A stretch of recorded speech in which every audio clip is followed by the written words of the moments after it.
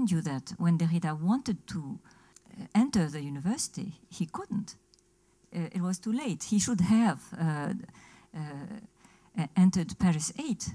And when he later decided that he maybe would be more comfortable in university, he was uh, rejected.